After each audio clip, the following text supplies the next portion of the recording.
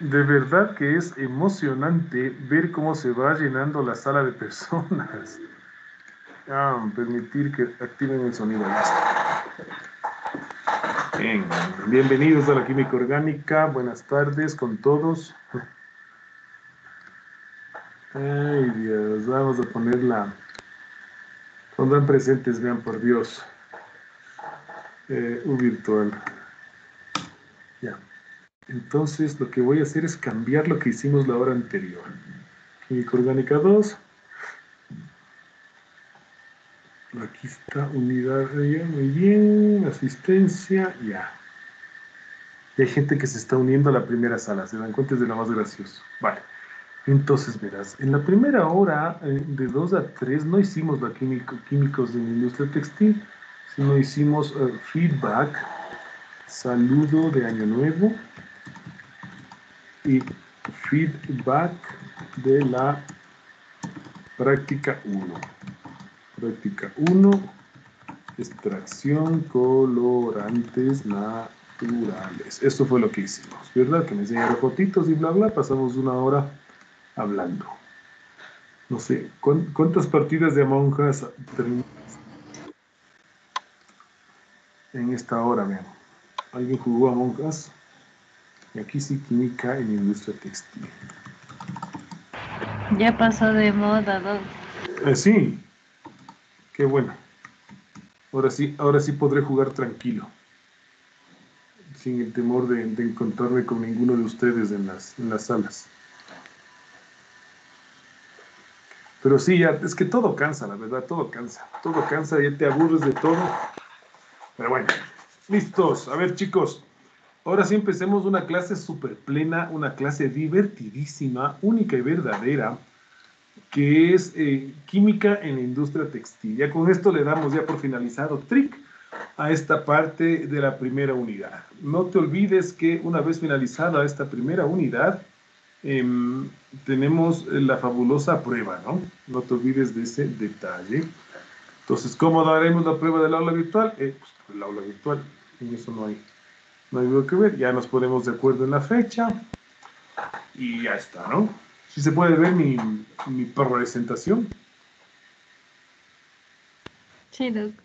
Sí, ya. Vale, entonces déjenme un segundito ir a buscar un poquito más de café y, eh, y cerrar la puerta para que no entre aquí la aspiradora. Ya está.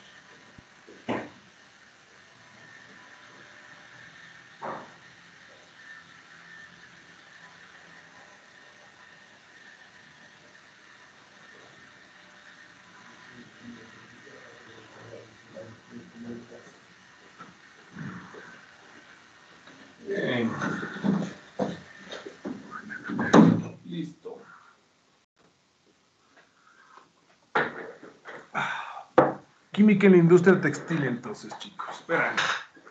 ¿De qué va este tema? O sea, ¿por qué estudiamos esto? Fuentes, ya saben, Ullman, la enciclopedia de la industria química, ¿vale? Ya les pongo todos los PDFs ahí. Bien, entonces, eh, para llegar a pintar una fibra, mis estimados y estimadas estudiantes, eh, pues em, es una cantidad de químicos que están ahí de por medio puro. O sea, para que llegues a tener vos una tela que está bonita, que no se despinte, que sea agradable al tacto, etcétera, no tienes idea, no tienes idea alguna de la cantidad de químicos que existen, ¿sí? Entonces hoy día vamos a hablar de los que son los químicos auxiliares y eh, cuáles son las propiedades físicas y las propiedades químicas que deben unir estos químicos. Y vamos a hablar del primer grupo de estos químicos que se llaman los sizing agents, es decir, los agentes de encolado es decir, con qué químicos logramos ponerle, en recubrir las fibras, recubrir las fibras, ¿de acuerdo?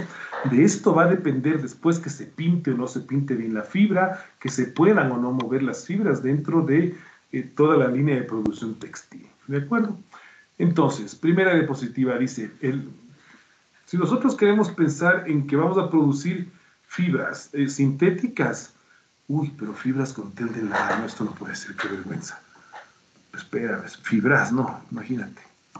Fibras sintéticas, exactamente.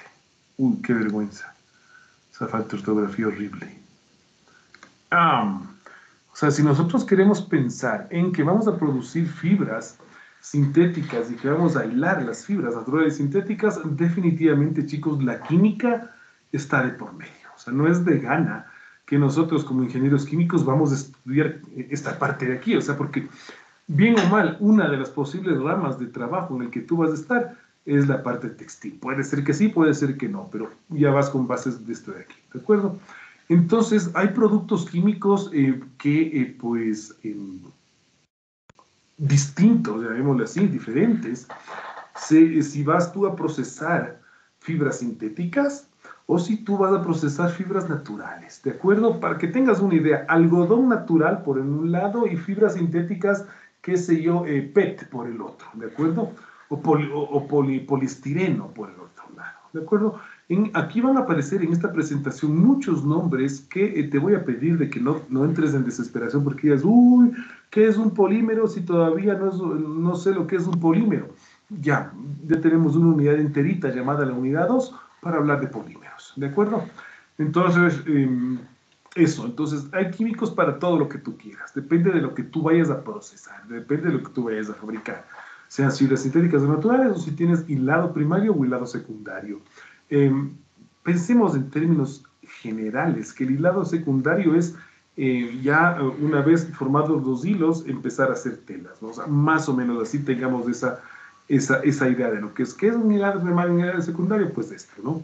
El primario es formar los hilos, y ya uno con los hilos formados, hacer las telas, vendría a ser el secundario, en términos súper generales, súper grandes, ¿de acuerdo? Ya, entonces, eh, cuando hablas de productos químicos, estás hablando de aditivos, es decir, eh, más químicos que, vas a meter dentro de eh, tu proceso textil. Así de sencillo, más químicos que yo le pongo dentro. Entonces, no solo es la fibra y colorante, sino hay muchas otras cosas más. Eh, químicos como aceites. ¿Tú podrías darme ya la fórmula de un aceite? Cualquier aceite que este sea. Aceite natural, pensemos. ¿Podrías tú ya darme una fórmula de un aceite natural? Una idea más o menos de la fórmula de un aceite natural.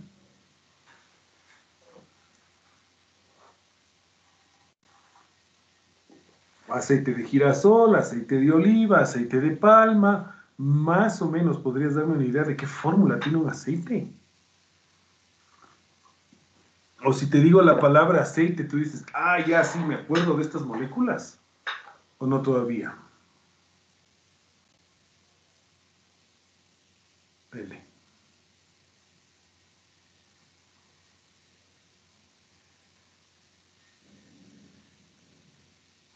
Aló.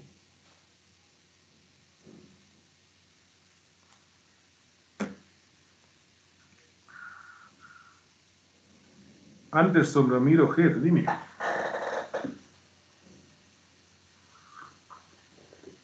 No me acuerdo muy bien, pero creo que son ésteres de cadenas largas. Algo así. Ácidos carboxílicos de cadenas largas. Eso es un aceite. Si yo quiero dibujar aquí un aceite en términos súper generales, ¿verdad? Tendría que dibujar el grupo del ácido carboxílico por aquí, así, ¿no es cierto? El, el OH, el doble enlace al oxígeno, ¿verdad? El grupo carboxilato. Y aquí tendría que meterle una cadena largota.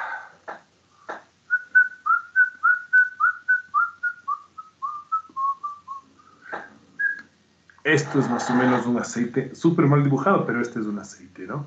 Ácidos carboxílicos de cadenas largas, también conocidos como ácidos grasos. Em, mezclas muchos de estos ácidos carboxílicos y tienes aceite de girasol, aceite de palma, aceite de esto, aceite de aquello, aceite de linaza, aceite de ni sé cuánto, aceite de ni sé cómo, etcétera, ¿no? Pero en términos generales es esto, ¿no? ¿Qué otros químicos hay? Lubricantes. Esto es industria del petróleo eh, industria del petróleo, agentes antiestáticos, debes haber visto alguna vez, ¿no es cierto? Te debe haber pasado alguna vez que, eh, y esto es de experimento que se hace en la escuelita, que te estás puesto un saco de lana y le pasas la peinilla así, y después se, te acercas esto al cabello y el cabello se, se, se mueve por las cargas estáticas. No sé si es que han hecho ese experimento alguna vez de la, de la, de la peinilla, ¿no es cierto?, sobre la lana y después em, cómo se carga de forma estática esto. La del globo. Lo del globo. Sí, el globo con solamente, bueno, poniéndose un poco en la cabeza y ya. Y ahí produces energía estática. Si queda pegado el globo ahí, ¿no es cierto? Por cargas estáticas. Ya, eh, ¿por qué es importante que una fibra no tenga carga estática, chicos? O que las fibras repelan esas cargas. ¿Cuál será la importancia de esto? ¿A dónde le ves lo interesante de esto de anti, agentes antiestáticos?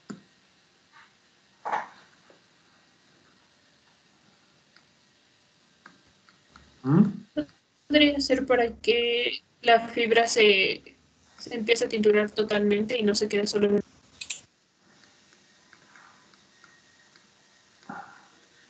Em, bueno, se le coloca el agente antiestático, ¿no es cierto? Primero, varias cosas. ¿Recuerdas las máquinas que habíamos hablado el, el, ciclo pasado, en que las fibras o las telas pasan por toda una serie de rodillos?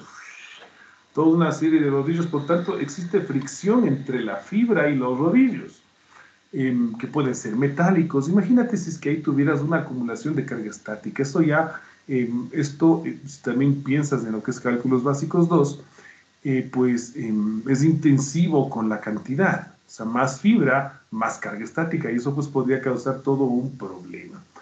Em, debes de haber sentido alguna vez las descargas estáticas, ¿no? A veces cuando te acercas a una persona y, pa, dices, ¡ay, me cogió la corriente! Sientes esa, esa descarga de la parte estática, ¿no?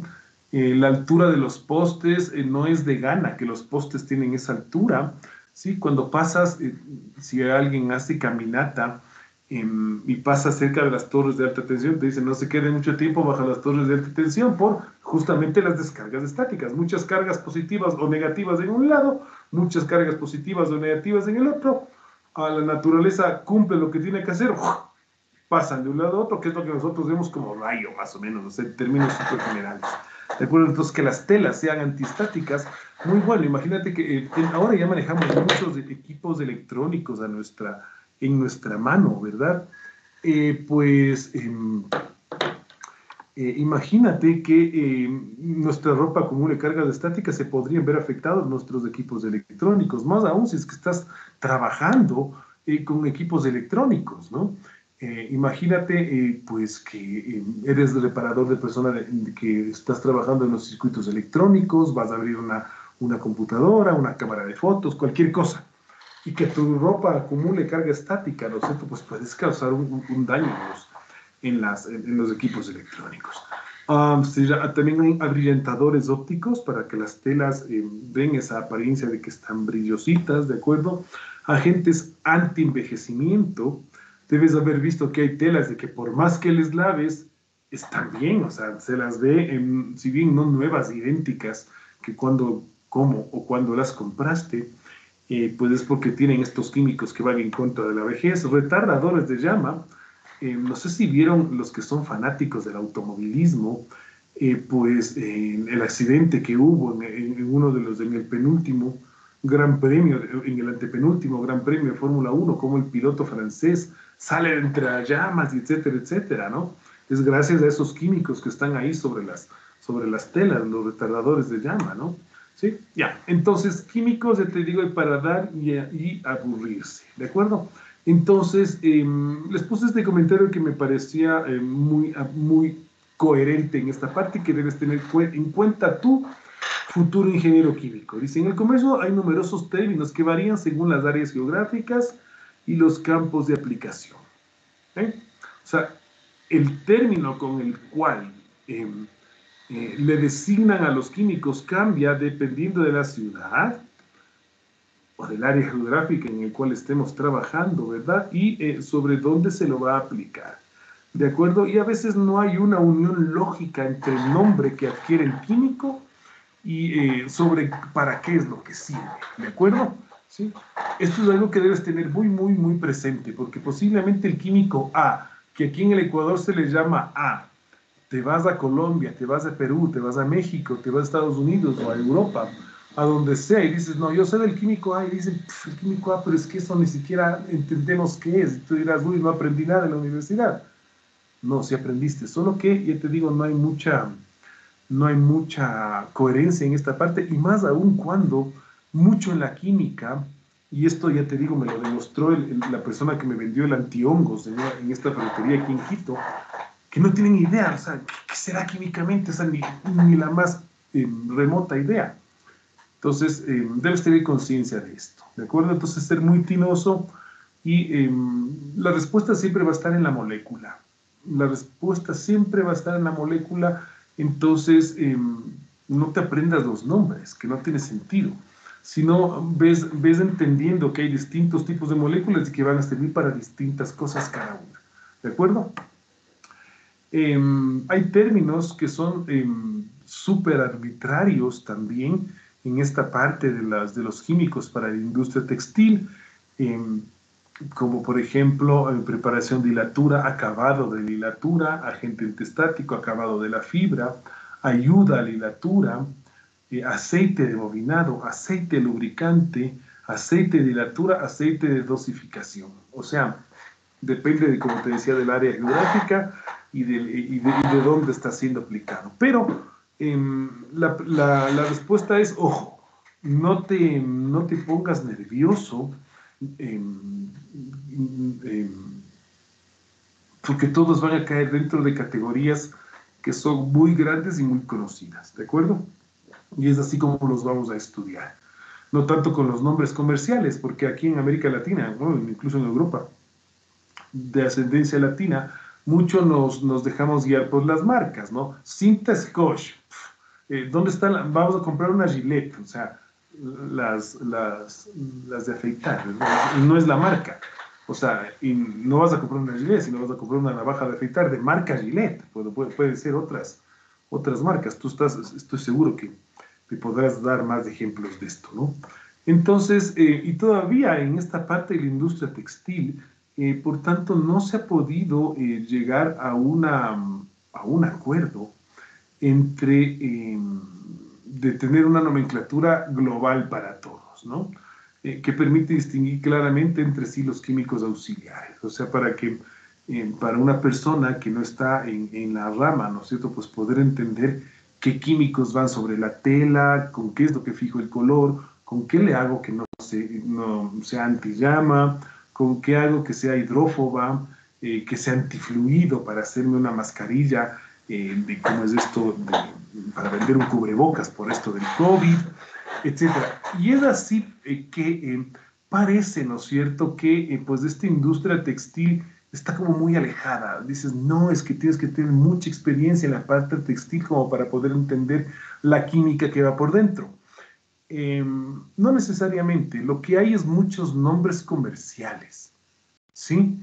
Y eh, pues em, tu misión como ingeniero para poder entender y después poder insertarte en este mundo es eh, no quedarte en el nombre comercial, pues qué tontería, sino ir a la esencia, es decir, polar, no polar, ácido, no ácido, qué tipo de molécula es, ah, y así entender la acción, ¿sí? son cosas que no solo vas a aprender aquí en química orgánica, sino también debes ir juntando las otras materias, aunque al inicio no parezca eh, fácil, pero hay algo que, eh, o sea, que es lo que tienes que tú hacer, ¿de acuerdo? Entonces, no hay que abrumarse por la cantidad de nombres de químicos que van a asomar ahora en la presentación, ¿vale?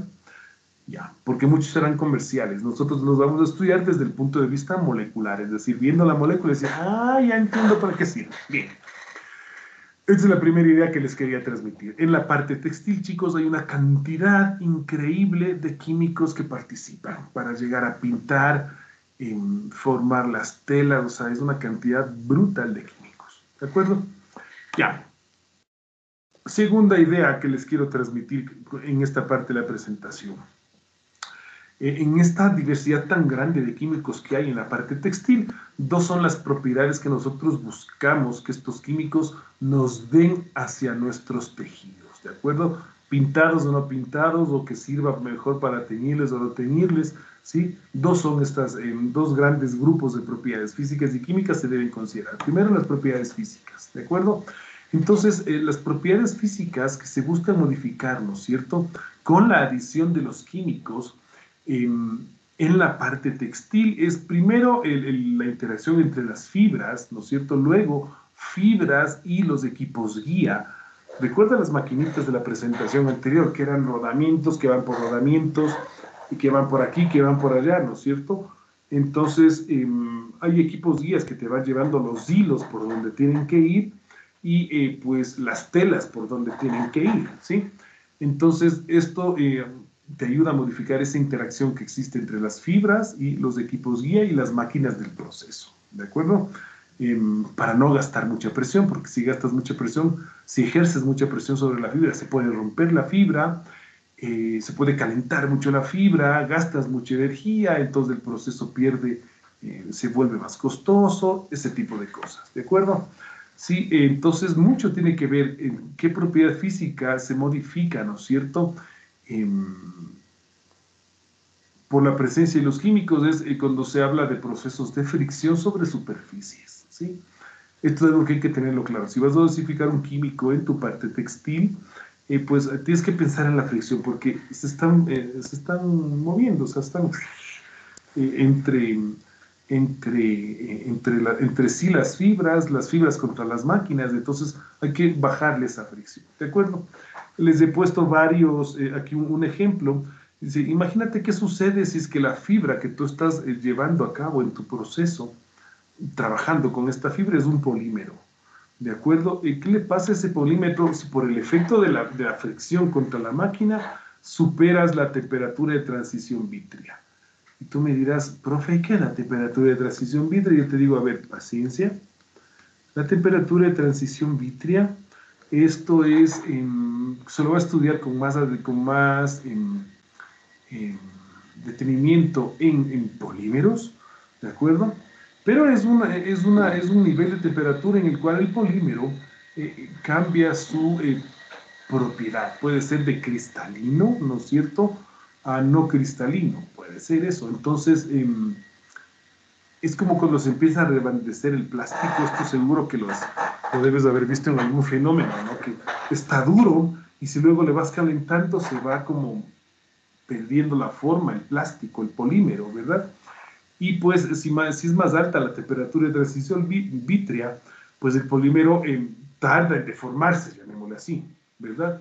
Eh, seguro que debes haber visto los moldes de silicona que utilizas para el horno de la casa y ahí hacer, qué sé yo, galletas, cupcakes, ese tipo, de cosas. Eso es un polímero.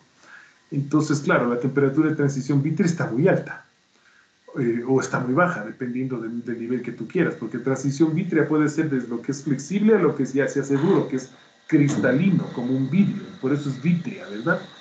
Entonces, em, está muy alta la temperatura de transición vítrea, significa que por debajo de la transición vítrea pues está duro, está cristalino el polímero. Es por eso de que pones ese, molde de silicona en, el horno y no se, no hace agua, ¿de acuerdo? Y máximo hasta 200 centígrados o 300 centígrados. Y eso es desarrollo, ¿de acuerdo? Entonces por eso te pongo aquí un, un, asterisquito. Esto de la, oh la transición vítrea, pues eh, ya lo vamos a estudiar más a detalle. Em, ¿Qué pasa? Eh, ¿Qué propiedades del fluido, no es cierto? Em, son las que hay que tener presentes cuando hablamos de procesos de fricción sobre superficies, la viscosidad del fluido. Esto es algo que ustedes van a estudiar en fenómenos de transporte, todo lo que es en términos de viscosidad, con qué velocidad voy hilando. Seguro que deben haber visto alguna vez las máquinas de tejer o de las abuelitas, o de cómo van tejiendo con las agujetas, eh, pues en la parte industrial pues son muchos hilos que se están mezclando entre sí, ¿no es cierto? Y esa con qué velocidad puedo ir haciendo el tejido, eso me va a dar cuántos metros de tela voy a sacar al final, qué presión puedo yo aplicar, ¿no es cierto?, sobre mis fibras sin que se nos rompan. Y más presión, más rapidez puede ser, ¿no es cierto?, de fabricación de las telas. Entonces, esto es son las propiedades físicas que buscamos que confieran estos eh, productos auxiliares químicos para em, en, la, en, la, parte textil. ¿De acuerdo? Entonces, em, ¿por qué reducimos el, esto, este contacto fibra-equipo? Porque lo que buscamos es reducir la fricción. Eh, pues Em, si buscas reducir la fricción, pues lo que buscas es em, remover cargas electrostáticas Y para lo cual, en términos generales, una muy buena idea es que a tu proceso, a tu hilo, le agregues grupos polares. ¿De acuerdo? ¿Se acuerdan que hablamos de la teoría de la repulsión de los electrones de la capa de valencia? Lo que era un dipolo, dipolo inducido, atracción dipolo-dipolo, etc. Ahí tienes ejemplos de grupos polares para que te acuerdes, ¿no? ¿Qué consideraciones generales eh, físicas se debería tener presente en los químicos auxiliares para los, eh, estos procesos de tejido y de teñido? Primero, de que sean fisiológica, es decir, dermatológica y ecológicamente inofensivos, ¿de acuerdo? Habrá que hacer pruebas entonces, ¿no? De que pues no, no haya, imagínate, porque esos hilos van a estar en la ropa, o sea, esos químicos tarde o temprano van a llegar a mi ropa, ¿no es cierto? Imagínate que yo me ponga una ropa y me empieza a salir sarpullido, me empiece a picar, eh, o se me haga roja la piel, y dices, chuta, pero ¿por qué? ¿Qué pasa con esta fibra, no? No sé si les ha pasado, esto suele pasar con los con los sacos de piel de borrego, de lana de borrego, no de piel, de lana de borrego, que cuando te hacen esto, eh, pues si no está bien lavado y bien curado, este te pica, te pica y te sale sarpullido por todos los lados, ¿sí? Em, es cuando es hecho pues así la... Em, no está puesto el químico, pues era un químico que no estaba fisiológicamente probado. ecológicamente inofensivo, significa de que tenga por lo menos un 80% de degradabilidad en el ambiente, ¿no? En términos generales. Bien. ¿Qué más se busca en estos químicos que son auxiliares, las propiedades físicas de los químicos em, para lo que son los procesos de, textiles? De que tenga una buena acción antiestática para evitar esas cargas, ¿no? De que tenga una buena dispersión en la fibra, o sea, de que se pueda repartir bastante bien en la fibra de que, sea, eh, de que tenga una buena remoción en el lavado. Las fibras se van a lavar una vez teñidas, ¿no es cierto? Una vez procesadas se tienen que lavar. Entonces, de que salgan, de que no se queden presentes ahí. De que tenga una buena vida útil, ¿sí? O sea, de que puedas darle varias veces en el proceso a tu químico. De que tenga una buena estabilidad térmica, es decir, que no se evapore. ¿De acuerdo? Porque se calienta esto, se calienta, las máquinas funcionan en calor, recordarán las maquinitas con las que hablamos del semestre pasado, ¿no? Eh, y por ejemplo que tenga compatibilidad con discos de poliuretano. La palabra poliuretano también te lo marco ahora, porque dirás, profe, ¿qué es poliuretano? Paciencia. Ya vamos a ver en nuestra siguiente unidad eh, la fórmula del poliuretano y cómo obtener poliuretano. Vale. Em, ¿Qué es lo que no se quiere en estos químicos? Que no te hagan amarillas las fibras. Em, de que no migren hacia la fibra, es decir, que no se penetren en la fibra, sino solo se queden por, por fuera, que no hagan espuma, ¿sí? Y pues de que eh, no, te no te dé un efecto glaciado en los discos cerámicos, ¿sí? Em, como quebradizo, este efecto como quebradizo sobre la cerámica. No sé si has visto esto de que hay cerámicas que em, tanto lavar, tanto lavar, parece que el recubrimiento de los platos de cerámica se vuelve medio amarillento, va perdiendo ese brillo inicial. Pues ahí tienes ¿no? el efecto del tenso activo sobre los, sobre los eh, polímeros. Ya. ¿Qué propiedades químicas eh, debemos buscar en estos químicos que son em, auxiliares para la industria textil? Aquí no hay que darnos la vuelta, chicos. Cuando hablamos de propiedades químicas, van a ser productos que vienen de la petroquímica, es decir, petróleo y sus derivados, algo llamado la oleoquímica.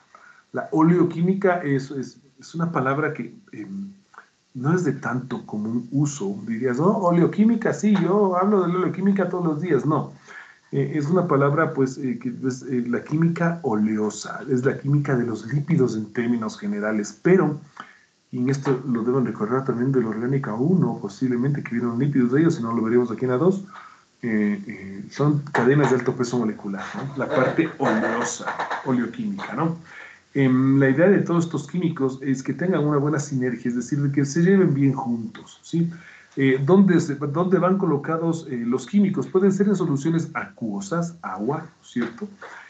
o formando emulsiones que sean estables. La, la, emulsión más común que nosotros tenemos es pues em, la leche es una, es una emulsión de grasa en agua, ¿no? Se, suele cortar la leche, es cuando rompes la emulsión. Otra, otra emulsión que es muy común es la de la mayonesa, ¿no? Que es la clara de huevo con el aceite, ¿sí? Entonces, eso, estas son emulsiones en términos generales, ¿vale?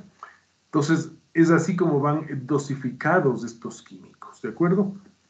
Químicos que ya te digo tienen mucho que ver con la, em, para la parte textil. Entonces, eh, los llamados lubricantes, aceites lubricantes, ¿de acuerdo? Eh, pues pueden tener em, base mineral. Estos aquí son aceites, em, aquí te puse, aceite mineral, ¿no es cierto? Pueden ser parafinas o isoparafinas o aromáticos, poliaromáticos o naftenos, ¿de acuerdo? Todo esto es petróleo. Petróleo contigo. Seguro que eh, haber visto alguna vez, o la, ¿cómo es esto? La vaselina, ¿no? El, petrolato, o sea, la vaselina para los daños, es moléculas de este tipo que eh, te pones, ¿no es cierto? Y que dices, bueno, me hidrata la piel, ese tipo de cosas, ¿no? Em, como materias naturales, pues ya te digo, puedes tener estos aceites minerales, que es producto del petróleo, estas parafinas y sus parafinas, o aceites vegetales, básicamente triglicéridos, y aquí te puse un, aceite, eh, un, ejemplo del aceite de coco, ¿no? Este es, un éster, como tú ves aquí. Está aquí el éster, ¿verdad? Por eso es triglicérido, eh, porque tiene tres ácidos grasos. Y pues em, partimos de la glicerina o glicerol, ¿no es cierto? Que es, eh, aquí está el alcohol, ¿no? Inicialmente esto es de alcohol aquí, ¿no? El OH, aquí está el alcohol, ¿verdad? Y pues em, reaccionan para formar los ésteres, que esto ya lo estudiaron ustedes en la química orgánica 1 y aquí tienes pues el aceite de coco, el aceite de maní. Ya.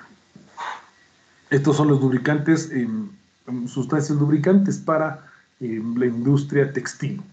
O tienes aceites minerales, que es base parafina, o isoparafina, o algunos naftenos o poliaromáticos, y te acuerdas de la vaselina, o em, aceites lubricantes a base de aceites vegetales, que pueden ser de, de coco, de, de, maní, entre otros, ¿no? ¿De acuerdo? Em, cuando se habla de lubricantes sintéticos, sí, em, como te decía, ¿no es cierto? Y esto, al hablar de lubricantes sintéticos, puff, son, es que es un mundo esto, chicos, pero bueno, Fíjate lo que, lo que dice aquí. Ésteres de ácidos carboxílicos superiores, es decir, ésteres de ácidos carboxílicos de alto peso molecular, con alcoholes grasos. Alcoholes grasos son alcoholes de alto peso molecular. O alcoholes polihidroxílicos, moléculas de alcohol que tienen muchos OHs. Estos ésteres podría ser dentro, caber dentro de lo que son lubricantes sintéticos, ¿no? Eh, poliéteres, poliéteres. Debes acordarte la palabra éter, ¿no es cierto? A base del óxido de etileno que te puse por aquí. Em, las, el, óxido de etileno, ¿no es cierto? Esto se lo estudia en Orgánica 1. Aquí están los, el carbono, súper famoso el óxido de etileno porque te permite este tipo de reacciones, ¿no? Y a incluirle, por ejemplo, a, a, una molécula, pues un halógeno o pues sustitución de un hidrógeno, bueno, todos estos mecanismos ya los vieron ustedes, ¿de acuerdo? Y en las llamadas siliconas, aquí también les pongo una, una un asterisco, una, un recuadrito para decir, siliconas, ¿qué es, profe? Tranquilidad, ya, ya hablaremos de polímeros, ahí te enterarás, ¿no? Cuando se habla de agentes emulsionantes o agentes humectantes de la industria textil, pues tienes la primera categoría que son aniónicos, ¿sí? Donde tienes jabones de ácidos grasos con metales alcalinos, el jabón de toda la vida, ¿no es cierto? O con alcanolaminas o aceites vegetales sulfonados, sulfosuccinados, eh, sulfosuccinatos o sales de alquilfosfato de toxilado. Muchos de estos ya los veremos después también aquí en esta misma materia. O tienes algo catiónico, ¿sí? Seguro que en escuchar estos compuestos, compuestos de amonio cuaternario, seguro que les dice algo, pero full, ¿no es cierto? Ahora en la en la famosa pandemia, ¿no es cierto? O compuestos de fósforo cuaternario, no solo el amonio tienes cuaternario, sino fósforo también puedes tener cuaternarios. Entonces te digo, cuando hablas de emulsionantes humectantes de la industria eh, textil, eh, características aniónicas, todo esto es de aquí, características catiónicas, todo esto de De acuerdo, aminas, grasas, cuando escuches la palabra grasa, ¿no es cierto? Es que la cadena de alcanos R, ¿no es cierto? RNH2, que debes recordar esto de la, de la doctora Vicky, ¿no es cierto?, de la orgánica 1. Esto es una amina, ¿verdad? Y grasas significa de que en esta R eh, tienes alto peso molecular.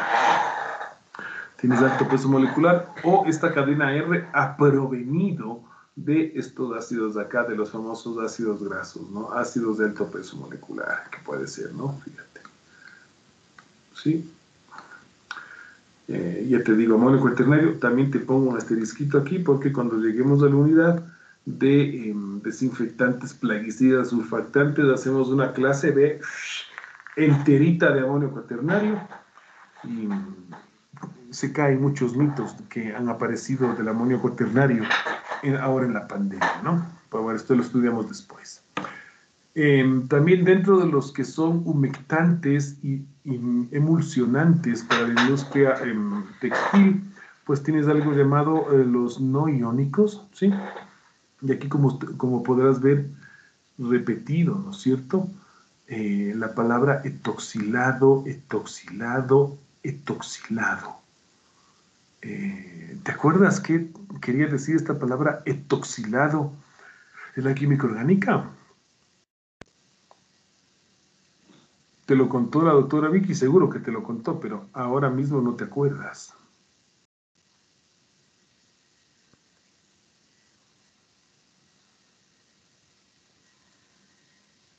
¿Recuerdas que quiere decir algo etoxilado? Porque es, fíjate, alcoholes grasos etoxilados, ácidos grasos etoxilados, ésteres etoxilados. Y esto del sorbitano, ya, que proviene del sorbitol, ya les voy a comentar. Pero primero quiero que me ayuden a recordar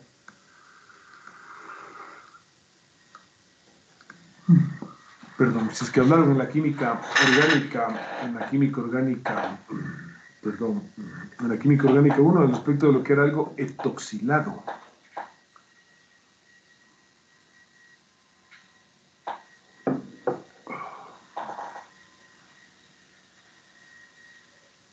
¿No?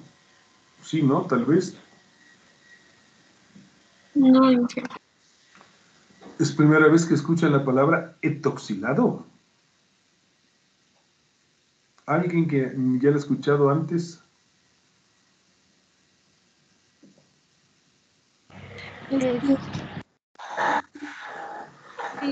Esa palabra la he escuchado, eh, que se, bueno, me acuerdo que usaban en los cosméticos. Y...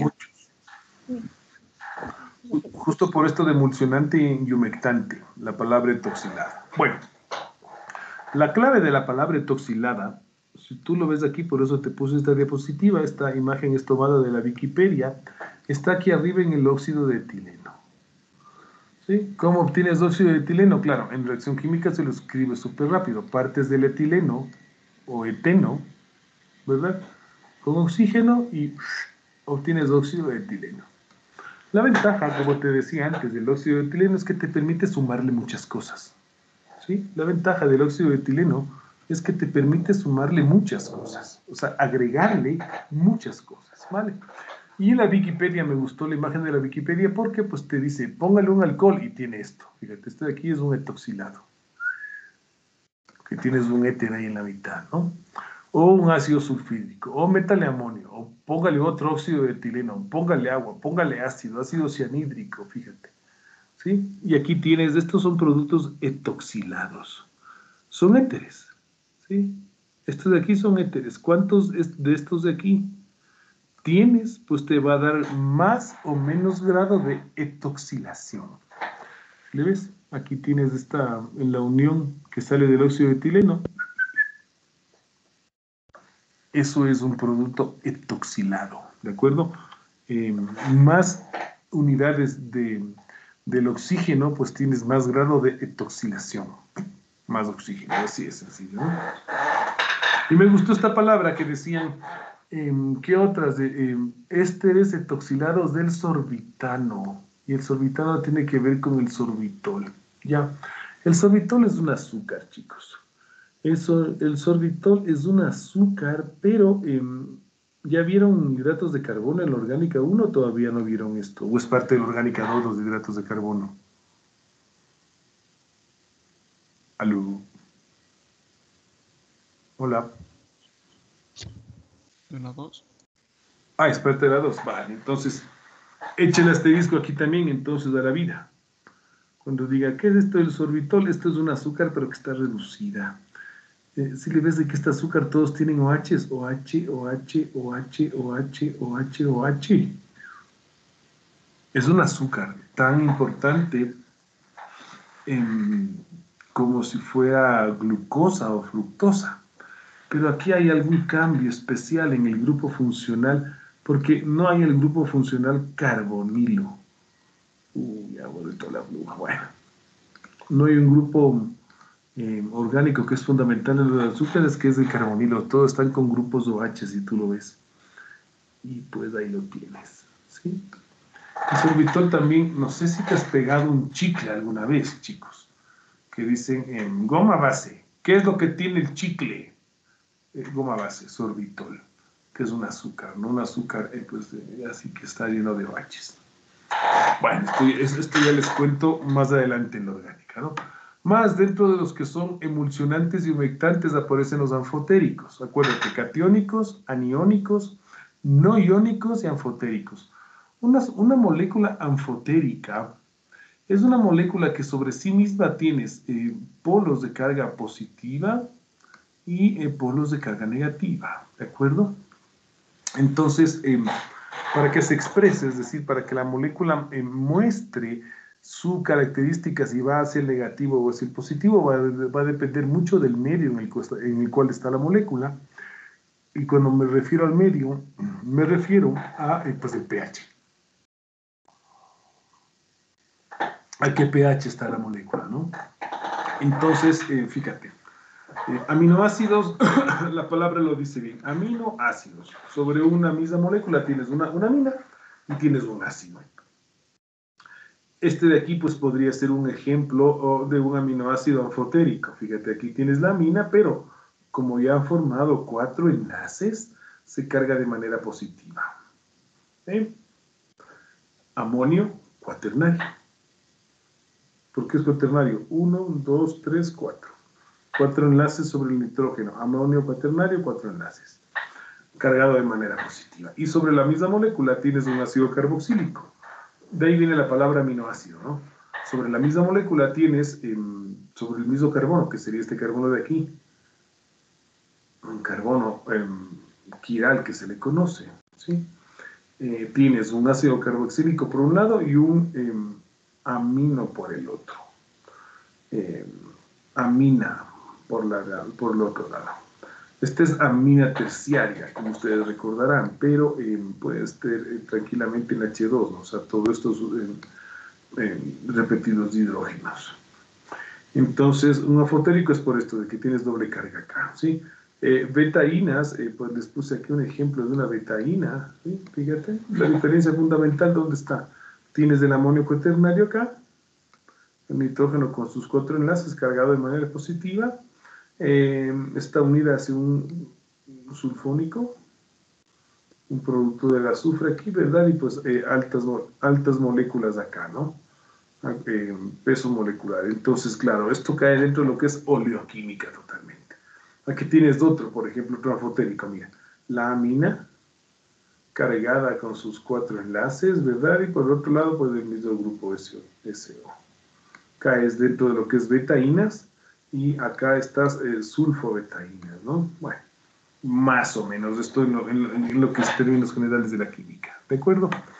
Ya, em, para hablar de agentes antiestáticos, chicos, tenemos que hablar de alquilfosfatos aniónicos, alquilfosfatos, fosfonatos, sales de alcanolamina em, y, jabones, que vamos a ver también. Aquí les puse un ejemplo de alcal, alcanolaminas, fíjate dietanolamina, aquí tienes uno, fíjate, dietanolamina, el monoetanolamina, la tienes aquí, ¿no es cierto? Muy bueno para hacer eh, estos compuestos agentes antistáticos, ¿no? Entonces tú dirás, profe, pero ¿de qué depende qué agente antiestático le pongo a mi tela? ¿Le pongo un aniónico, un catiónico, un no iónico o un anfótero? Mi respuesta es, ¿qué tipo de fibra tienes? ¿Fibra catiónica, fibra aniónica, fibra anfótera eh, o fibra no iónica? Ah, pues tengo una fibra catiónica. Vale, entonces ponle un agente estático catiónico. que se va a llevar bien. No es que, profe, yo tengo una, una fibra que no es iónica. Genial, ponle un no iónico, ponle una mina de un ácido graso no iónico etoxilado. Ya te conté lo que era la parte etoxilada. ¿De acuerdo? Estos en términos, ya te digo, súper generales. Posiblemente para las empresas que te vendan estos no le van, no van a llamar este es una mina de ácido graso no iónico etoxilado, por darte un ejemplo, si no te van a dar el nombre comercial. Y tú dirás y te preguntarán, ingeniero, esta empresa nos viene a vender este químico, ¿será que le compramos? Entonces tú dirás, bueno, a ver, muy bien, veamos qué fibras estamos teniendo, qué fibras son las que estamos procesando aquí en la industria. Que nos dé el vendedor la hoja técnica. En la hoja técnica te debe decir exactamente qué químico es. Entonces, claro, lo catiónico se lleva con lo catiónico, lo aniónico con lo aniónico, lo no iónico con lo no iónico, y pues los anfóteros con, fibras, no hay fibras anfóteras, sino en fibras positivas, fibras polares, fibras no polares, pero el anfótero dependerá del pH en el que se encuentra. ¿no? Aquí eh, también, déjame ver, les puse ésteres, de, ésteres del fosfato, fíjate. Aquí tienes un éster con su peso molecular ahí, ¿no? Y ya pues tienes ahí las fórmulas de estos, de estos compuestos, ¿no? Esto también cae dentro de lo que es la oleoquímica, es decir, química de los lípidos, porque tienes una cabeza polar y pues ramas largas no polares, ¿no? Bien, esto eh, básicamente es, ya te digo, en términos súper generales, lo que es el, tema, el tema de los químicos para auxiliares para el tejido. ¿De acuerdo? Eh, les he puesto aquí productores, principales productores de los auxiliares para la industria textil. Eh, pues tienes la BASF Alemania, eh, Hansa Technik Chemik alemán, Henkel alemán, Hetch alemán, eh, Schiller Stockhausen, Takemoto y Schimmer y Schwartz como ustedes caen en cuenta, eh, pues los alemanes tienen ganado una buena parte, muy buena parte del mercado en esta parte química, ¿no? Y pues em, aquí tienes pues em, el nombre comercial de los productos auxiliares para la, para la, para la industria textil, ¿no? Entonces, estos productos van a caer en cualquiera de estas categorías. ¿Qué categorías? ¿Qué categorías, profe? Estas. O son, eh, o son lubricantes sintéticos, ¿verdad? Los químicos, déjame ver dónde estaba la lista. Eh, los químicos para el tejido, estos de aquí. O son aceites lubricantes, o son antiestáticos, o son abrillantadores, antienvejecimiento, retardadores de llama, ¿verdad? Entonces, esto, qué sé yo, si dices em, un aceite lubricante, pues puede ser esto, ¿no? Aceites minerales en base de parafina o aceites vegetales que son triglicéridos. Si tú me dices em, lubricantes sintéticos, profes, pues puedo tener toda esta gama de lubricantes sintéticos, ¿no? Lubricante sintético, el aceite que le pones al carro, más fácil, ¿no es cierto? Y pues todas las grasas y aceites para la parte de maquinaria. Y es ahí, es ahí donde viene la respuesta, que dices, profe, ¿por qué no puedo cocinar con el aceite del carro? ¿Qué pasa si le pongo el aceite de cocina al carro y se daña? Pues aquí está la respuesta, ¿no? Son moléculas totalmente diferentes, ¿no? Em, dentro de más químicos que vemos acá, ya te digo, categorías grandes son estas de emulsionantes y humectantes, pero caes en cuatro grandes grupos, aniónico, catiónico, no iónico o anfótero, ¿no? Fíjate. Em, estos son los no iónicos y aquí tienes los emulsionantes anfotéricos, ¿verdad? O sea, puedes caer en cualquiera de esas grandes, de esas grandes categorías, ¿sí? Y también tienes aquí eh, una lista eh, bastante generosa de agentes antiestáticos, ¿sí? Para ayudar a, las fibras, como se, se, explicó, igual caen en categorías aniónicas, catiónicas, no iónicas y anfóteras, ¿sí? Esto, chicos, como les, como les cuento, es un mundo de químicos ¡puf! Súper grande, ya les conté en las primeras diapositivas, ¿no? Y em, como les decía, les puse en esta diapositiva de acá, eh, pues las principales casas comerciales, la mayoría alemana, de acuerdo de producción de estos químicos y pues eh, lo que te venden, ¿no? Entonces, eh, por ejemplo, soromín de la BASF, digamos, que te quieren vender o pues estás trabajando en la, en la parte textil y dices soromín de la BASF. Vamos a ver qué es el soromín de la BASF. Entonces, ¿qué es el nombre comercial? ¿no? Te vas a tu navegador y pones aquí soromín, soromín de la BASF. Vamos a ver qué es esto. Aquí estamos. Eh, BASF, data nube. Veamos qué nos da con esta, esta mm, Product for Finishing. Ah, mira, aquí está.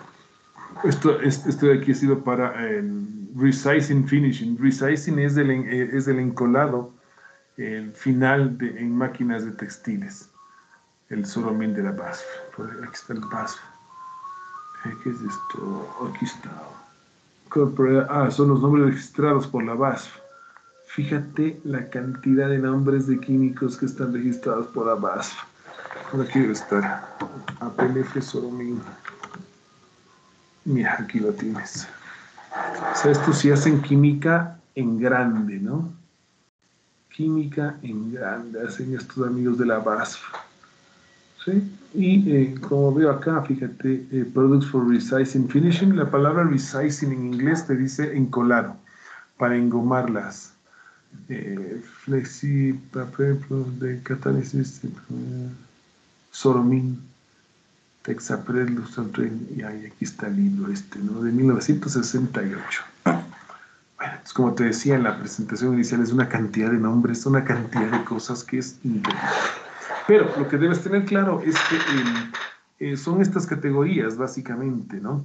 Eh, aquí está la lista de los químicos que participan en la parte textil, esto de aquí, ¿no?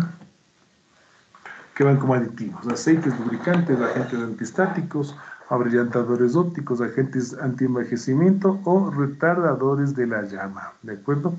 Eh, que además de lo que es agua y el color, ¿no es cierto? Es lo que va dentro de la industria, de la industria textil. ¿De acuerdo?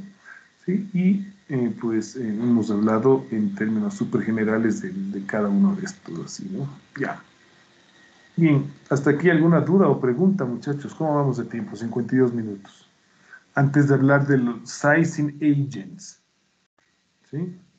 Que esto es eh, engomado, agentes de engomado para las fibras textiles alguna duda de estos términos generales de los aceites lubricantes.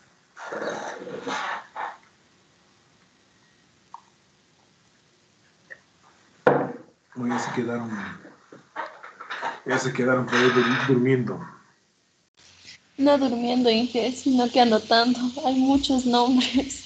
Sí, sí, muchos nombres, pero ya les digo, de esto, no sé, creo que ya hablamos en cálculos básicos, que me decían, profe, no vaya tan rápido. Tranquilidad, yo después les paso todas las diapos. yo después les paso toditas, toditas las diapos. No les paso ahorita porque todavía no la termino de construir, ya les dije esto, ¿no? Esto es algo nuevo que le estamos poniendo, pero ya te digo, la idea fundamental estaba aquí al inicio, para que no te vayas, para que no te vayas a perder. Aquí. Si tú quieres hablar de em, de productos químicos asociados a la industria textil, tienes que pensar de que eh, pues em, es un mundo de químicos. Hay químicos, vamos, para aburrirse, ¿no es cierto? ¿Y de qué dependerán los químicos? Van a depender fibras sintéticas y ya es que fíjate aquí en la presentación, hablar de fibras sintéticas es bueno, o sea, se lo pone rápido, el profesor lo escribe rápido en su, en su, en su diapositiva, pero la cantidad de fibras sintéticas que hay es increíble. O sea, si antes ya teníamos un dolor de cabeza en la parte textil, pintando lana de borrego, lana de oveja, eh, lana, qué sé yo, cuero de vaca, lana de llama, o tanta cosa, ¿no es cierto? Algodón. Em, el instante en que apareció la petroquímica y salieron los plásticos y de ahí las fibras, del, esto se, o sea, fue un estallido, es como un Big Bang. Como ustedes ven, estoy puesto una, una chompa porque hace frío aquí cerca de mi casa, porque vivo en la montaña. Y aquí tengo dos tipos diferentes de nylon. Fíjate, uno que brilla, si tú le ves aquí, es un, este nylon de aquí brilla y este nylon de acá no brilla. Entonces dices, chuta, y claro, y aquí hay distintos químicos para que se quede este color negro aquí en esta prenda de vestir, hay distintos químicos. Adentro es otra tela que está como más suavita, ¿no es cierto?, de la que está por fuera. Si esta tela se moja, yo no me mojo, ¿no es cierto?, porque es impermeable, en ¿verdad? No me causa picor en mi piel, o sea, que vienen ahí, o sea, y para que eso llegara yo a tener esta prenda, ¿no es cierto?, que me pongo, me frío, etcétera, tengo una cantidad de química que está por detrás. Y como hay tantas, fíjate, y acá, y acá adentro es otro color. Aquí la manga es un color, fíjate, la manga es ploma por dentro. El nylon es más oscuro en la manga. En cambio, aquí en el pecho tengo un nylon brillante y por dentro está tomate. ¿De acuerdo? O sea, son distintas fibras. Eh, no sé si la etiqueta diga qué fibras es esta cosa. Bueno, no interesa ahora. Entonces, todo esto, muchachos, em, cae dentro de la química. Pero tú dirás, wow, profe, ¿qué cantidad de químicos que hay? Sí, claro, hay una cantidad de químicos brutalmente grande. ¿sí? Y no te olvides de este diapo. Todavía es imposible en esta industria llegar a un acuerdo sobre una nomenclatura internacional. Es decir, vamos a hablar en términos generales, ¿no es cierto?, de, pues, eh, de todos los químicos que van dentro de la parte textil. Es infinita, o sea, es te puedes volver loco. Y te dije, no, vuelve, no vayas a entrar en estrés, ¿no es cierto?, en tranquilidad, porque no vamos a aprender todos y cada uno de los nombres de los químicos, porque nos faltaría, nos faltaría vida, ¿sí? Entonces, y les decía en la presentación, chicos, atención, ¿qué hacen los químicos? Buscan dar, buscan modificar propiedades físicas. ¿Qué propiedades físicas? Eh, aquí estas interacciones, ¿no? Aquí en esta diapositiva está la cosa bastante, bastante clara. Pienso yo, capaz que tú veas pura letra, pero yo pienso que está bastante clara las ideas. Modificar las, las interacciones entre las fibras y los equipos guía y entre las fibras y eh, pues las máquinas del proceso.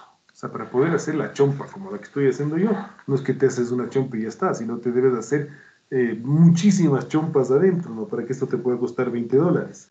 ¿Sí? ¿Y qué le pones dentro de la chompa para que no haga frío? Bueno, es una locura total, ¿sí? Pero, por tanto, esto debe pasar por máquinas. Y si es que pasa esto por máquinas, ¿no es cierto? Que pase una no pasa nada, pero que pasen 10.000, causa que las fibras se calienten, porque hay rozamiento, ¿no es cierto? Entonces hay que ponerle químicos ahí para eh, pues, eh, evitar esos, eh, esas fricciones, que no se acumulen en la parte estática. Entonces tú como el la persona responsable de, esa producción o que está delante de la producción, eh, pues se te tienen que juntar las ideas. A ver, estos son polímeros, la temperatura de transición vítrea de este polímero, más o menos, esto es un PET, estará por, uy, yo no sé, 200 grados. Si se me calientan las máquinas más de eso, ya este hilo no voy a poder hilar, ¿no es cierto? Es que fíjate, las telas, ¿no es cierto? Son muchas fibritas de hilo. O sea, vas a ver en la cámara, ni, ni aquí poniendo el ojo, vamos a ver son muchos hilos que están juntos entre sí, ¿verdad? Y por eso te decía que tenías, eh, aquí te decía, velocidad del hilado, eh, etcétera, ¿no? Y tantos materiales que hay, puf, que en, el instante en que apareció la petroquímica, puf, esto nos estalló en la cara. Pero bueno, estamos aquí para estudiarlo, ¿no? Y les dije, pues a ver chicos, recuerden que bla, bla, bla, esto es lo bueno que hay que buscar en los químicos, hay, hay que esperar que estos químicos no te hagan esto, ¿sí? Y pues les dije aquí, derivados de la petroquímica. Claro, en la, en la, diapo del profe es muy fácil. Petroquímica, dos palabras y ya está. No, uh, la cantidad de productos que hay detrás de esto es para perder la cabeza. Y les mencioné esta palabra, la oleoquímica, ¿no? Ya. Y pues eh, buena sinergia, acción sinérgica, o sea, que puedas juntar todos dentro de una mezcolanza y que tengas pues buena, que se lleven bien entre todos, ¿vale? Esto también es papel del químico totalmente, ¿no? y no solo en esta parte textil. ¿En dónde más te puedo decir de que participan los químicos y que juntan muchos químicos y que se deben llevar todos bien? Mm, a ver, un, ejemplo de la vida cotidiana. Mm, las vacunas la famosa vacuna, ¿no es cierto? sea, de Pfizer, de BioNTech. Podemos hacer una clase entera de la química que está por detrás. Lo más interesante es el antígeno, ¿no? pero tienes adyuvantes, coadyuvantes, estabilizadores, y, bueno, es, una, cantidad de químicos que hay en la parte que te mueres. Pero claro, como no se puede aprender todos los nombres, pues a ver, vamos por grupos. Entonces aquí les decía, ¿no? Si, hablas de aceites lubricantes, eh, vegetales o base, base petróleo. En términos generales, aceite mineral, el que le pones al carro está hecho de parafina, así que... Es por eso que no puedes cocinar con esta aceite, así de sencillo, ¿no? O no le puees poner el aceite de, de, palma a tu carro como lubricante del motor porque te lo, te lo comes, ¿no? Y aquí tienes del otro mundo, el vegetal, ¿no es cierto? Con los triglicéridos. Dos cosas, dos lípidos, ¿no? En, términos generales, de ahí cada una de las marcas que la VAS, la Hedge, eh, qué sé yo, pues que a este nafteno le hayan puesto por aquí otro, otro sustituyente o que esta parafina le hayan hecho así más larguita, con una verificación por acá y un oxígeno aquí para ser etoxilado, saldrá la fórmula de ese aceite lubricante, que también ya hablamos de aquí alguna vez en clase. Pero la base de la química está aquí. Dices, ah, ya muy bien, y claro, ahí lo debes juntar con lo que aprendiste en la orgánica 1. Por acá, fíjate, cuando te hablo de lubricantes sintéticos, ¿verdad? Eh, aparecen estos poliéteres, y la base del óxido de etileno de este de aquí, ¿no? Y como decía el profe, eh, esto ya vamos a hablar después. Eh, a este, lo bueno de este óxido de etileno es que me, me permito sumarle muchas cosas. O sea, le puedo aumentar muchas cosas al óxido de etileno. Y podría tener emulsionantes. ¿Tienes claro lo que es una emulsión? Sí, profe, ¿qué es una emulsión? Me dio dos ejemplos. La leche y la mayonesa. Ah, sí, correcto. Pero Emulsionar es lograr mezclar algo eh, hidrófobo con algo hidrófilo y que eso vaya al agua, o viceversa, de que eso vaya al aceite. O sea, algo que normalmente no podría estar en base hidrófoba está gracias a una emulsión. Es que eso es fenomenal. Las emulsiones te las puedes encontrar en un ejemplo de una emulsión que no se le huevo y la leche, déjame ver, pero es que ya hay reacción química. Em, cuando mezclas la, masilla epóxica, por ejemplo.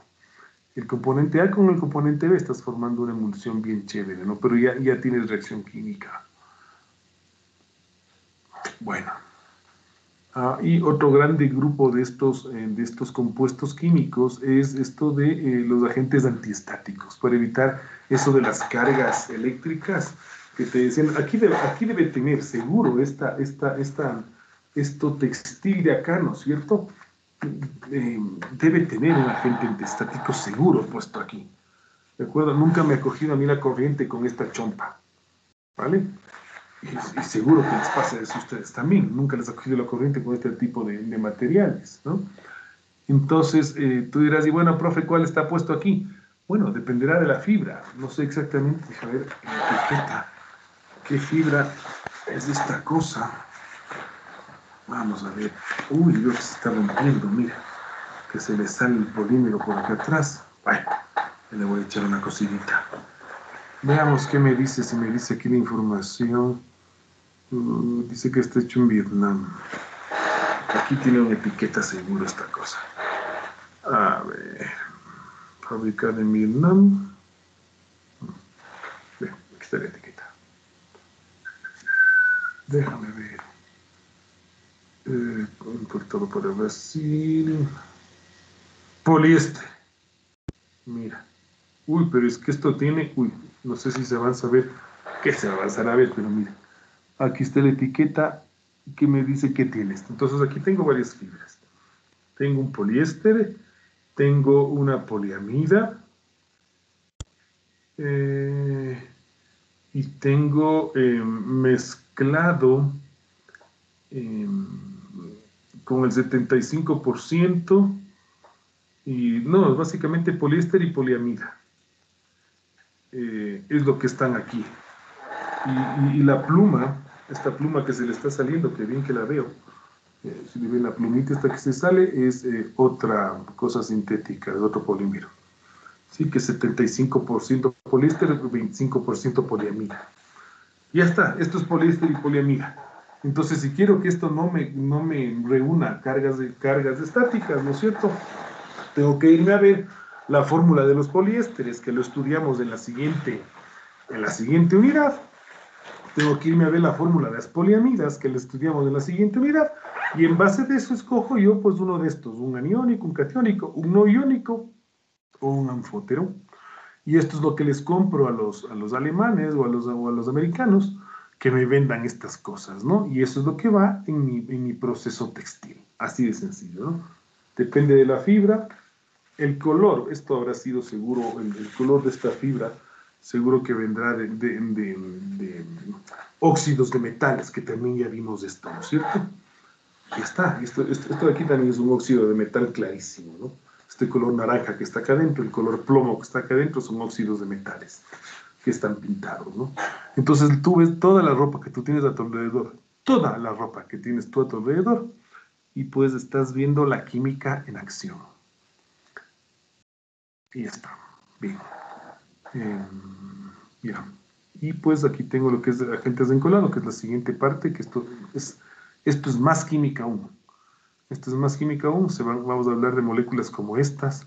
Mira, almidón, ¿Has escuchado que antes las abuelitas le ponían almidón a la ropa?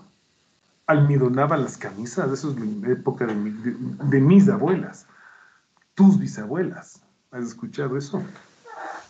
¿No se le pone almidón cuando se plancha? O bueno, yo he escuchado eso. Ya, eso es el, eso es, eso es el famoso sizing agent, que eso ya vamos a hablar en la siguiente clase, ¿no? Pero bien, dudas, preguntas. Llevamos una horita, yo creo que es más que suficiente, porque mucha información también les embota la cabeza. ¿Qué dice Melissa Antonella? Le escucho.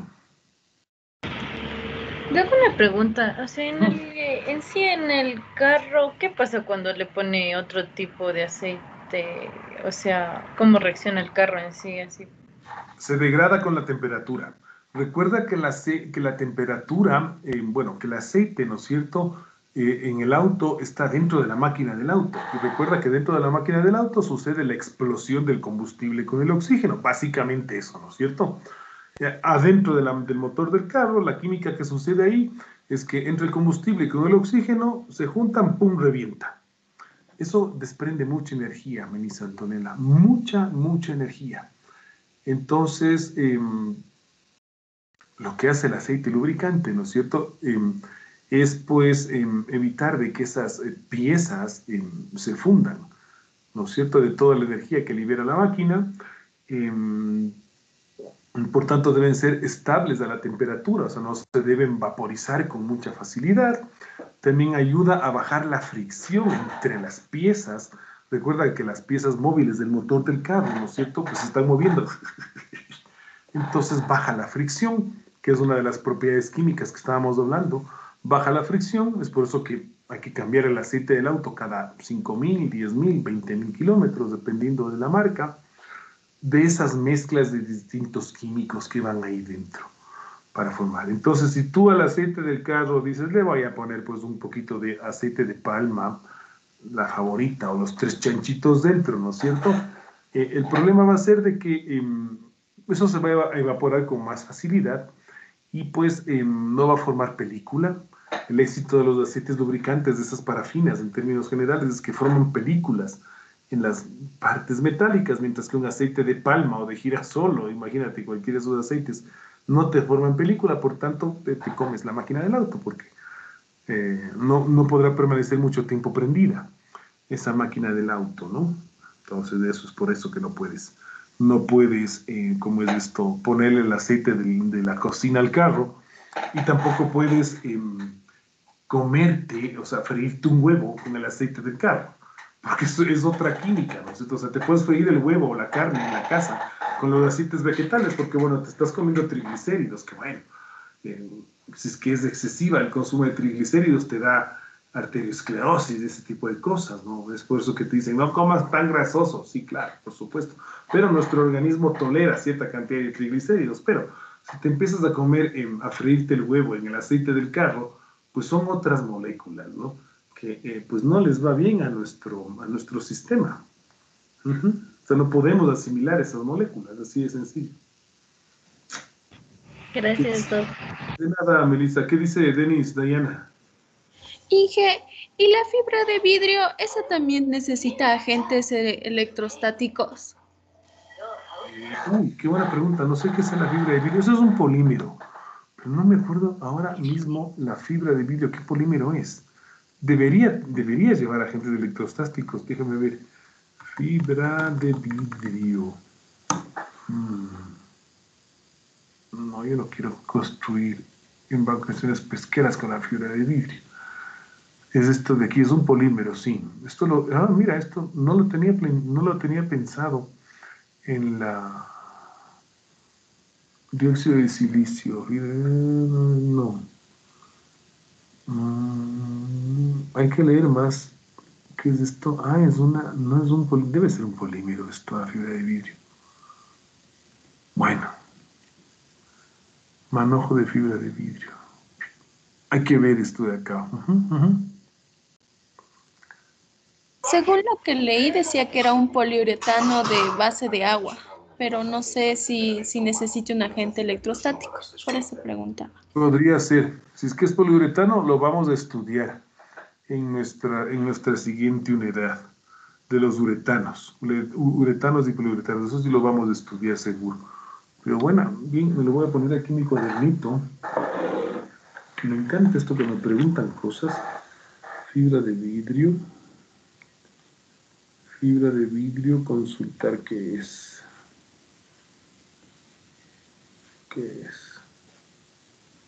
Ya, listo. Más cosas, chicos.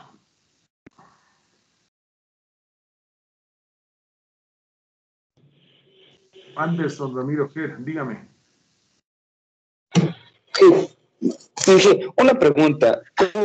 ¿Cómo, o sea, cuáles serían las características para que las fibras sean, eh, o sea, ecológicas?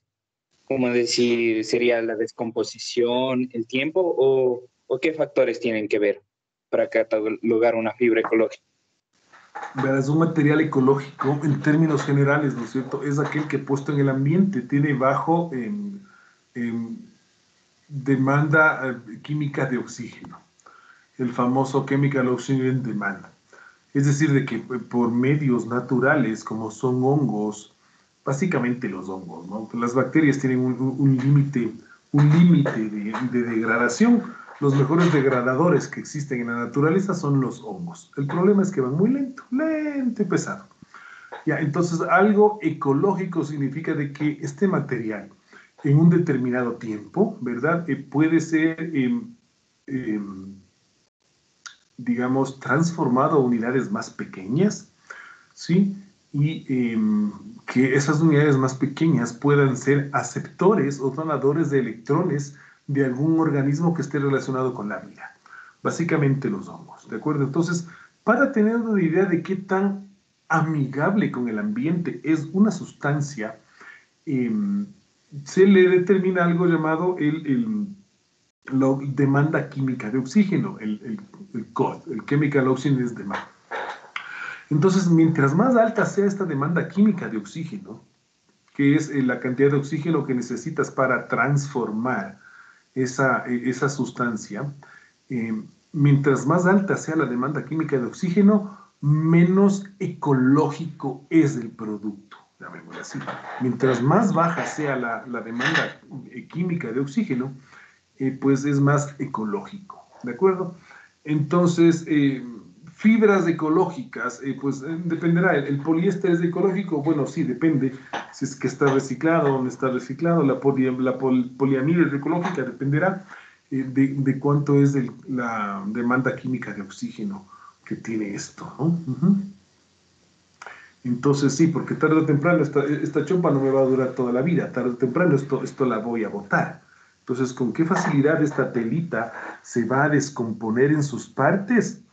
Eso es lo que va a marcar qué tan ecológica o qué tan sustentable es, esta, es la fibra que estoy utilizando ahora, ¿no?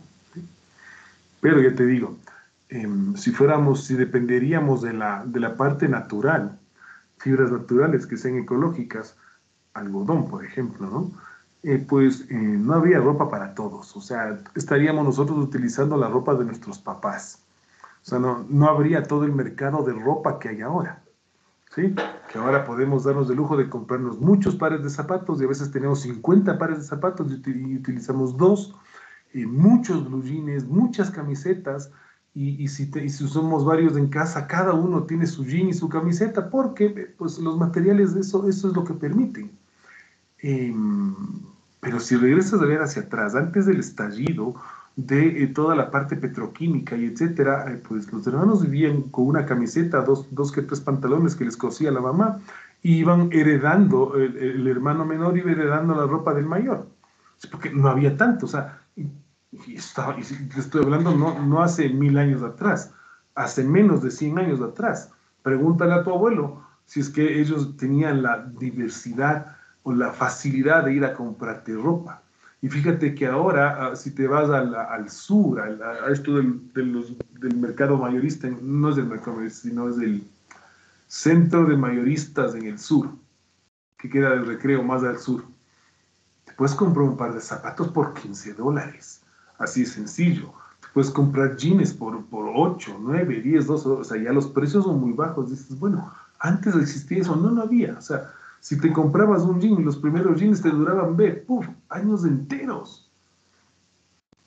Porque eran, digamos, entrábamos en lo que son fibras naturales, ¿no? Entonces imagínate la cantidad de sembríos de algodón que deberíamos tener, la cantidad de ovejas que tendríamos que estar trasquilando para tener toda la fibra para vestirnos ahora, ¿no? Entonces, claro, viene el estallido de la ropa y la moda y tantas cosas a partir de la petroquímica. Tienes fibras, tienes otros materiales, tienes nylon. El rato que apareció el nylon puff es increíble. Esto lo estudiamos en polímeros después. Entonces, y claro, la ropa, ¿dónde va la ropa a parar? la quemas a fin de año, sí, bueno, haces un muñeco, pero ¿y el resto de ropa? tienes a veces closets enteros de ropa que terminas regalando para que otra persona la use tú ya no la usas porque ya, la ves viejita, ya tiene otro color, ya no te gusta y buscas más ropa, ¿no?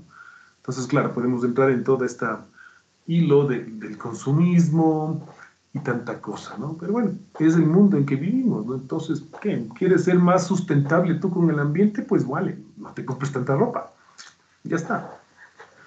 O cómprate ropa que te aseguren que los químicos que utilizan para pintar la ropa, ablandarte la ropa, la fibra, eh, pues em, son amigables con el ambiente o la empresa que te vende esa ropa tiene pues plantas de tratamiento de las aguas que porque todos estos químicos que te digo, ¿no es cierto?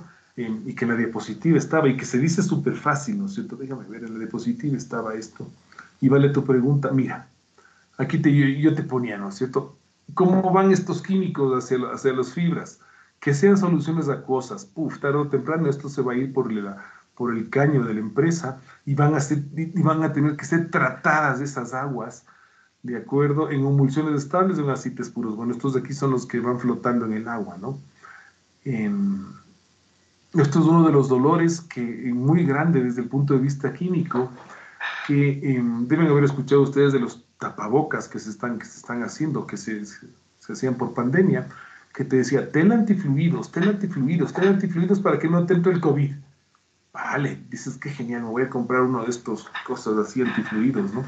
Para hacer esos antifluidos, em, una de las, de las materias primas son los eh, compuestos fluoro, eh, fluorocarbonados, que ya estaban prohibidos, o sea, ya estaban hace 30 años atrás, tú ni nacías, ya se prohibieron, porque se ve de que cuando estos se descargan al medio ambiente, eh, pues el, el COD, la chemical ocean y demás, la demanda química de oxígeno es muy alta y es muy difícil de tratar esas aguas y tanta cosa. Se prohibieron eso. Incluso hay películas de, de empresas, ¿no es cierto?, que enviaban estos fluorocarbonados hacia los ríos y hacia las fuentes de agua y, las poblaciones de kilómetros lejos de las plantas eh, empezaban a tener problemas eh, en, en, los bebés, bueno, en tanta cosa, ¿no? Pero, oh problema, vino la pandemia, había que hacer eh, máscaras antifluidos para vender a la gente con diseños de Hello Kitty o de Batman o de lo que sea, y se empezó a importar nuevamente estos fluoroclorocarbonados aquí para la industria ecuatoriana, por toneladas, chicos, son cosas que a veces no, no pararon, ¿no? Por toneladas, y claro, ¿dónde van a ir eso? A nuestros ríos, a nuestras fuentes de agua. O sea, le echan a veces, este, o sea, yo estoy a favor de que hay que cuidar el agua, claro, por supuesto, pero no solo hay que cuidar el agua en el origen, sino también cuidemos el agua que nosotros arrojamos fuera. Pero bueno, es, otro, es otra discusión totalmente, ¿no? Entonces, más o menos cuando hables de eh, eco-friendly, hay que pensar en cuánto tiempo ese material o químico se transforma en otras, en, pequeños eslabones de la cadena alimenticia de un ser vivo, básicamente de los hongos. Algo de las bacterias, algo de los pescados, pero más desde los hongos. Sí, Denis, Diana, le escucho.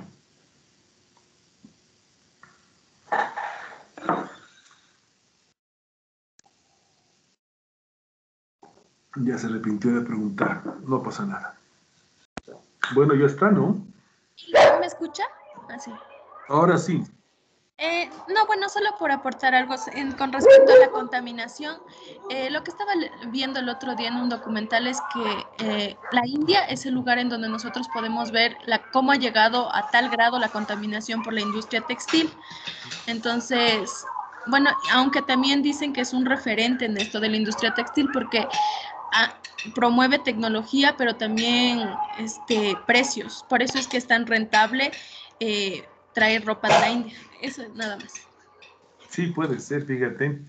Y, no, nada, o sea, es que es increíble, esta industria textil es de las que más se mueve, o sea, estoy seguro que eh, siempre pensaron ustedes en esta Navidad, en por lo menos comprarte un par de, un, par de medias, chiquito, más que sea, o para el, para el fin de año comprarte una ropa interior de color rojo o amarillo. Ya está, o sea, fíjate, o sea, es de las, de las industrias que mueve mucho, mucho, mucho dinero. ¿Por qué? Porque desde hace unos cuantos años atrás nos dieron de que tenemos que tener camisa blanca, azul, amarilla, verde, tomate, bla, bla, bla, bla, bla, bla.